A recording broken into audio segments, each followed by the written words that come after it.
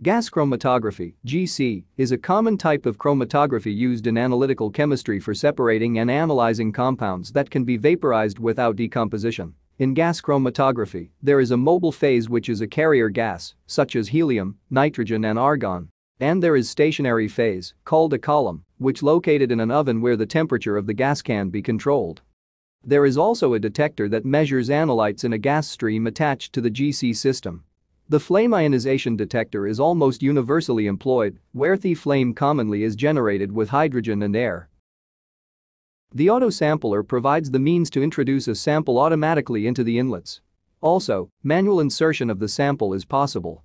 The column inlet, or injector, is attached to the column head and provides the means to introduce a sample into a continuous flow of carrier gas. In the injector, a sample is introduced into a heated chamber via a syringe through a septum.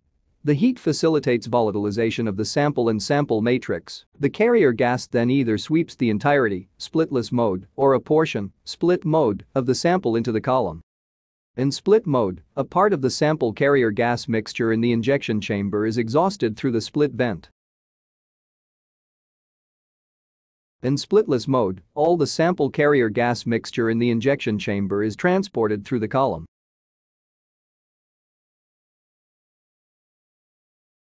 Two types of columns used in GC, packed column, where the stationary phase is coated directly in the column. And capillary column, where the stationary phase is coated with the inner wall of the column.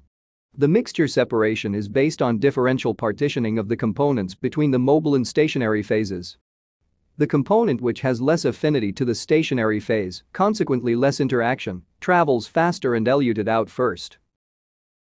And the component which has more affinity to the stationary phase, consequently more interaction, travels slower and eluted later. In addition, other factors influence the separation of the components, such as column temperature, carrier gas flow rate, column length, and amount of material injected. As compounds elute from the column, they interact with the detector. Different types of detectors can be used, such as the flame ionization detector, thermal conductivity detector, and mass spectrometer detector. The operation of the flame ionization detector is based on the detection of ions formed during combustion of organic compounds in a flame, which generated by hydrogen and air.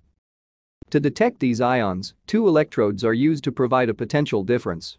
The positive electrode doubles as the nozzle head where the flame is produced. The other, negative electrode is positioned above the flame.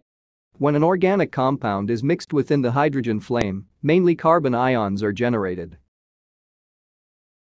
And a current is produced between the electrodes proportionally to the amount of organic compound present.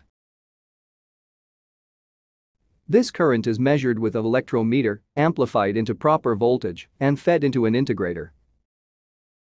The manner in which the final data is displayed is based on the computer and software.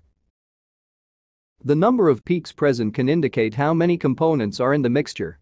Usually, the x-axis of the gas chromatogram shows the amount of time taken for the analytes to pass through the column and reach the FID detector. Typically, the y-axis, or the area of the peak, is a reflection of the amount of a specific analyte that's present.